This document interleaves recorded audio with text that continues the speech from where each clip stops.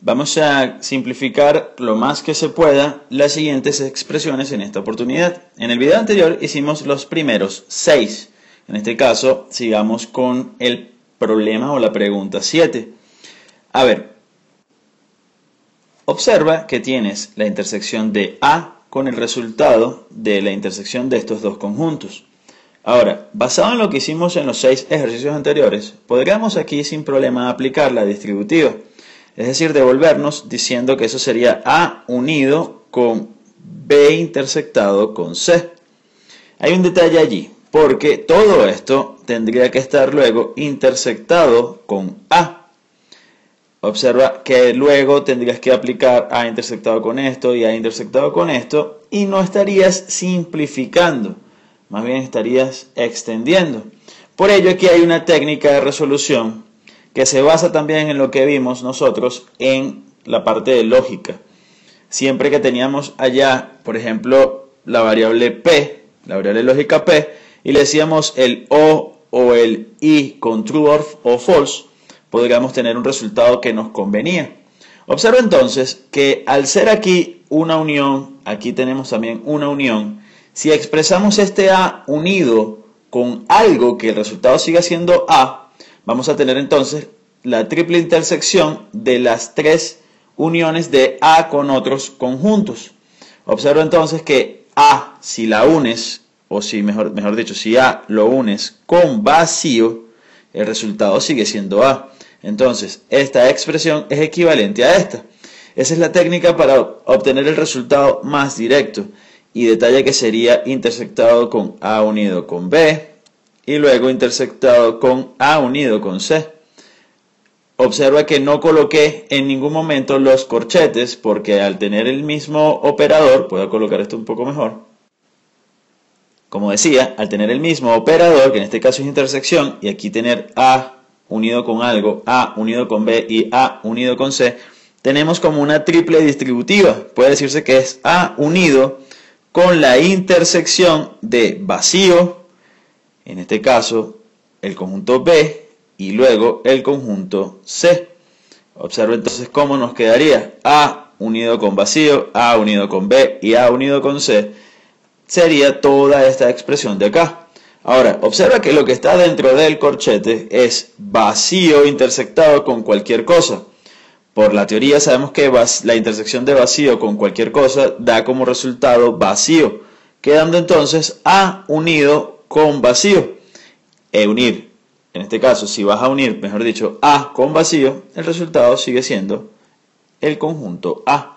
Y observa que aplicando esta estrategia que te comenté acá, resolvemos de forma más directa nuestro ejercicio, obteniendo que A sería la expresión equivalente para toda esta de acá.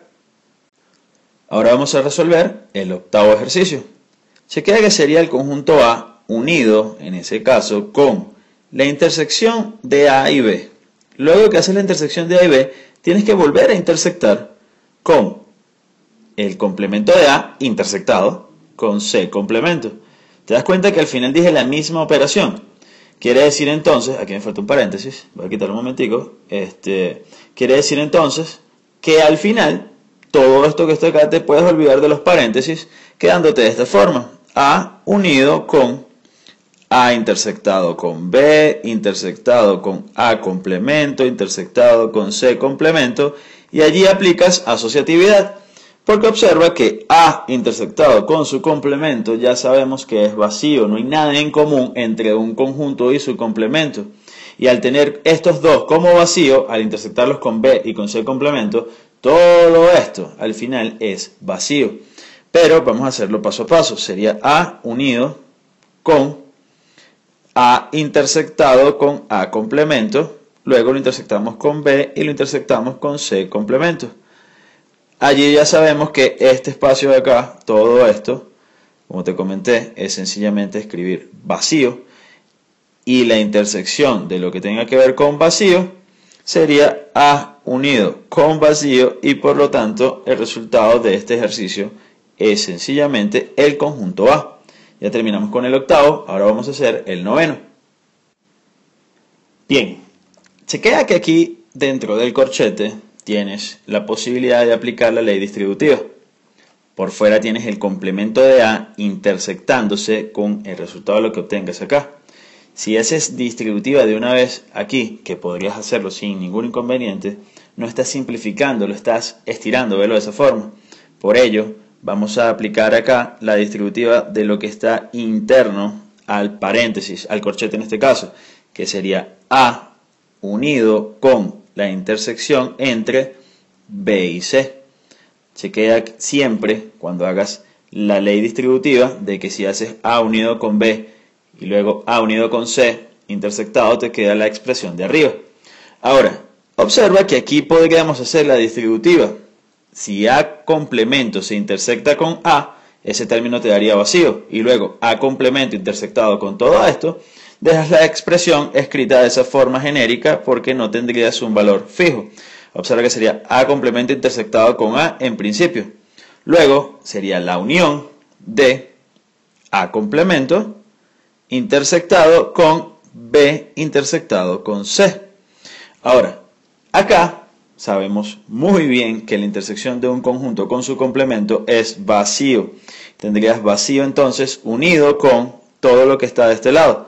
Observa que le voy a quitar estos paréntesis que están acá porque al tener aquí intersección e intersección puedes olvidarte de los paréntesis diciendo que eso es A complemento intersectado con B intersectado con C. De esa manera, cuando haces la unión entre todo esto y vacío, sencillamente te olvidas de vacío y el resultado sería ese término o esa expresión de acá. Sería tomar el complemento de A intersectarlo con el conjunto B y el conjunto C. Esta sería la expresión simplificada de la novena pregunta. Ahora, para el caso de la décima expresión, chequea que tendríamos el complemento de A unido con la intersección de esta expresión con esta de acá. Pero observa que lo que está dentro del corchete, de los corchetes, son puras intersecciones significa que tú te puedes olvidar de esos paréntesis y organizarlos a tu conveniencia. Y mira lo que hay acá, A intersectado con A complemento. Por ende, fácilmente puedes decir esto, que es el complemento de A unido a tu conveniencia. Dices que eso es A intersectado con A complemento. Y luego eso se intersecta con B intersectado con C. Allí si quieres deja sin eso, eso sin paréntesis. Acá es indiferente, simplemente es por notación. Ya sabes que esto es vacío. Vacío que tienes acá, intersectado con cualquier conjunto, todo esto observa que es vacío. Y A complemento unido con algo que es vacío, sencillamente te queda A complemento. Escribamos eso entonces, que sería A complemento unido con vacío que se intersecta con B intersectado con C.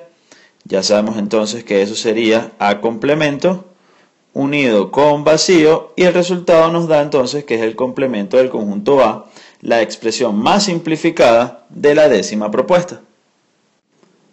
Continuemos ahora con el número 11 que nos dice que el complemento de la unión entre A y todo lo que está dentro del corchete es lo que vamos a simplificar. Observa cómo lo, lo manejé. El complemento de la unión entre este y todo esto. Ahora, siempre que tú tengas dos conjuntos cualesquiera, A unido con B complemento, recuerda que puedes obtener el complemento de A, el complemento de B, y si aquí dentro del paréntesis es una unión, aquí colocas la intersección. Pero si aquí dentro del paréntesis tienes la intersección, aquí afuera colocas unión. Eso es lo que vamos a aplicar nosotros acá y observa cómo nos quedaría tendríamos entonces toda esta expresión. Detalle que agarramos el A y le colocamos el complemento. Agarramos todo lo que está dentro del corchete y le colocamos el complemento. Y a la unión simplemente la cambiamos por una intersección. Dejemos intacta este A complemento. Observemos ahora todo lo que está pasando dentro del corchete, que de hecho tenemos un complemento. Dentro de ese corchete, chequea que sería la intersección entre estos dos conjuntos. Observa que es la intersección entre ellos dos. Al final, por tener allí un complemento, lo que vamos a hacer es que vamos a obtener el complemento de este conjunto y el complemento de este, y acá en vez de ser intersección se va a unir. Pero hay un detalle técnico allí, observa lo siguiente, si tú tienes el complemento de un conjunto y le vuelves a sacar el complemento, vas a obtener el conjunto original. Es como si en lógica tuviésemos el negado del negado de una variable lógica, era la variable p, ¿cierto? Aquí es al final lo mismo. Lo que vamos a hacer entonces es lo siguiente, para ahorrarnos tiempo, observa que si sacamos el complemento de todo esto, en aritmética decíamos como menos por menos es más o algo así. Observa que esto se va a cancelar con esto y solo nos van a quedar estos términos de acá sin el complemento de afuera. Y lo mismo le va a pasar a A complemento. Cuando le saquemos el complemento se van a quitar y nos quedaría el conjunto A. Por último, esta intersección sería una unión, quedando entonces todo de esta forma. Aquí está escrito lo que te dije verbalmente hace un momento. Todo esto que está aquí sin este complemento es esta expresión. Ahora, tendríamos esta intersección como una unión y por último, a complemento, aquí tenemos A. Ahora bien, observa entonces que aquí al tener A complemento intersectado con esta expresión y esta de acá, podemos aplicar la ley distributiva que nos quedaría de la siguiente forma. A complemento se va a intersectar con todo lo que está dentro de ese paréntesis. Observa que no hemos tocado absolutamente nada de lo que está allí porque no tiene sentido desglosarlo o cambiarlo porque no estamos simplificando, por ello siempre quedó intacto. Sería A complemento intersectado con todo esto unido con A complemento intersectado con A. Y ya sabemos cuál sería el resultado entonces de A complemento intersectado con A. Recuerda que allí tendríamos que no hay elementos en común, por ende la solución de ese pedacito sería vacío. Y la unión de cualquier cosa con vacío es el conjunto que tengas allí. Por ello podemos concluir automáticamente que esta sería la expresión más simplificada de la propuesta número 11. Sería A complemento intersectado con toda esta expresión de acá.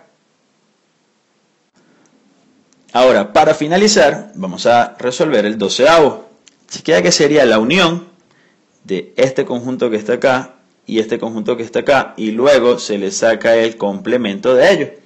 Ahora, observa que aquí dentro de este paréntesis tenemos la intersección del complemento de A con el complemento de B, ¿cierto? Ahora, a eso se le saca el complemento. Y si te observas este bien, si observas ese bien, sería también el complemento de A, el complemento de B, la intersección, y a todo eso se le saca el complemento.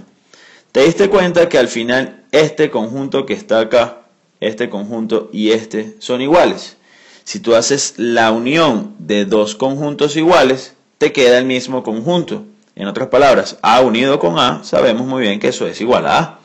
Por ello, Allí te olvidas de esa unión y sencillamente sería A complemento unido con B complemento. A todo eso se le saca el complemento. Ese es el resultado de la unión. Pero ojo, todo eso tiene un complemento externo que sería colocarlo aquí afuera. Vamos a dejarlo con el mismo color. Simplemente lo coloqué en rojo para que quede claro. Y ahora chequea lo siguiente. Tienes el complemento del complemento. Esos dos se van a cancelar, digamos que se anulan. Por ende, te olvidas de toda esa expresión y observa cómo nos quedaría la unión entre el complemento de A y el complemento de B. Esa sería una manera simplificada de obtener el resultado de la pregunta 12. Pero también si deseas puedes decir lo siguiente. Agarra el conjunto A, agarras el conjunto B, los intersectas y a todo esto le sacas el complemento. Aplicando la teoría, estas dos expresiones son iguales y por ello de acá tendríamos entonces la doceava o el doceavo ejercicio de forma simplificada.